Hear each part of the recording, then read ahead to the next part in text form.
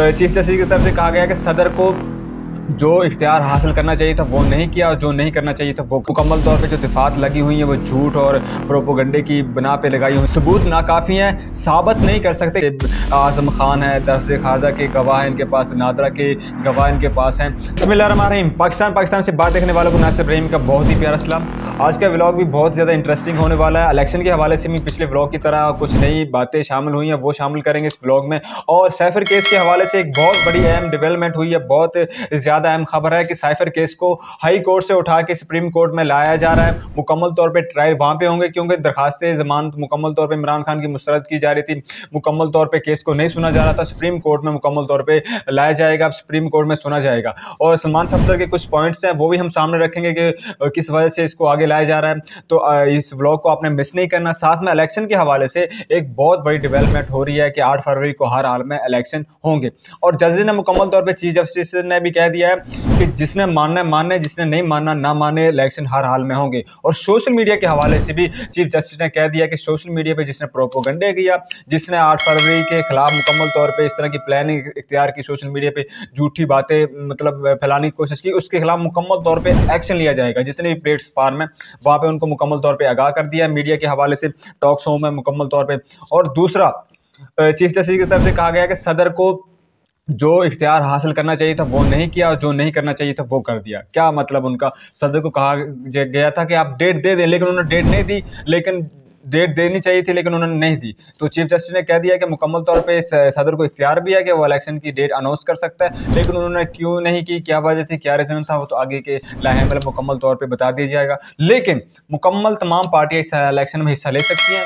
बकौल मुकम्मल तौर पे पीटीआई भी इस चीज़ में हिस्सा लेगी। लेकिन चीफ जस्टिस को एक फैसला और ज़रूर करना चाहिए कि जैसे तमाम जमातें जल से मुकम्मल तौर पे कर रही हैं, मुकम्मल तौर पे इलेक्शन की कंपेन लेके चल रही हैं तो ऐसे पीटीआई के लिए भी मुकम्मल तौर पर ग्राउंड को खोल देना चाहिए। तो देखते हैं कि चीफ जस्टिस के आगे के मामला क्या होंगे। अगले ब्लॉग में हम बता देंगे। लेकिन बढ़ते हैं सबसे मेन डेवलपमेंट की तरफ़, मैन खबर की जानब साइफर केस के हवाले से। साइफर केस को पहले स्पेशल कोर्ट में लेके जाया गया। वहाँ से मुकम्मल तौर पे इमरान खान की ज़मानत को मुस्रद कर दिया गया, मुकम्मल तौर पे बयान को सही तरह से नहीं सुना गया।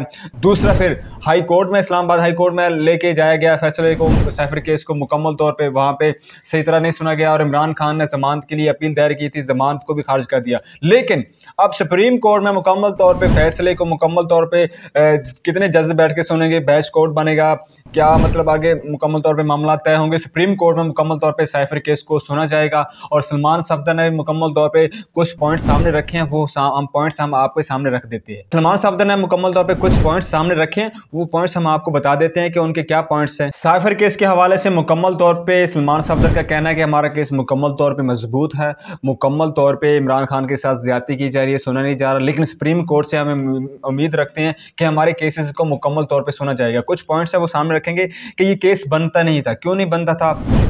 के मुकम्मल तौर पर जो दिफात लगी हुई हैं, वो झूठ और प्रोपोगंडे की बना पर लगाई हुई हैं। और दूसरा, इतनी जल्दी से केस बना देना, सैफर केस के हवाले से, और मुकम्मल तौर पर ट्रायल ना होना, ये भी बहुत ही बड़ी ज़्यादती है। और दूसरा, उन्होंने कहा है कि सबूत नाकाफ़ी हैं, साबित नहीं कर सकते कि सैफर केस इमरान खान के साथ मुकम्मल तौर पर ये इमरान खान के खिलाफ बनता है। सबूत भी इनके पास नहीं है, मुकम्मल तौर पर ये ट्रायल इस तरह चल नहीं सकता, इसलिए सुप्रीम कोर्ट में हम इस केस को लेके जा रहे हैं। दूसरा गवाहान जो है, मुकम्मल तौर पे वो भी मुकम्मल तौर पे ताउन नहीं कर रहे, वो भी एक झूठा प्रोपोगंडा बना रहे हैं, ना मुकम्मल तौर पे शवायद वो दे रहे हैं। जैसे आज़म खान है, दर्ज खाजा के गवाह हैं इनके पास, नादरा के गवाह इनके पास हैं। तो मुकम्मल तौर पर ये मुकम्मल झूठ पे बना हुआ केस है, लेकिन ये इसमें कोई सच्चाई नहीं है, इसलिए इस साइफर केस को मुकम्मल तौर पर सुप्रीम कोर्ट की तरफ़ लेके जाया गया।